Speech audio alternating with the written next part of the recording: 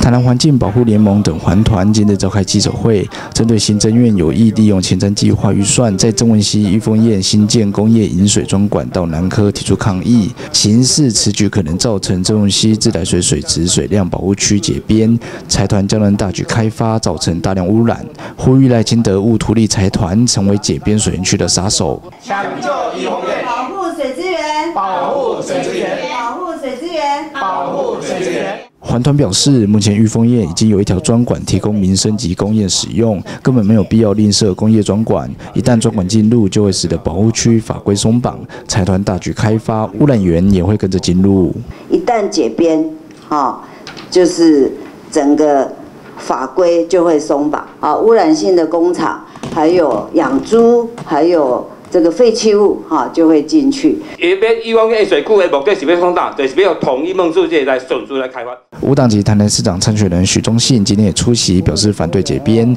对此，水利局长彭少博表示，设置工业用水专管与水质水量保护区解编，两者并无直接关联。中央都完全都有配套，它还是自来水的系统的一环，它还是受自来水法的管制。那国土计划也会对上游的这个部分。它的土地的这些的利用啊，什么开发的行为，也会有严格的这些的规范。彭少博说，由于自来水公司目前将民生工业用水、两股水混在一起处理，未来会希望两者分开，一方面提供市民干净的水源，另一方面有助于整体供水稳定。未来是否解编，还要看中央国土计划法，但强调相关法律规范健全，不会有污染的疑虑。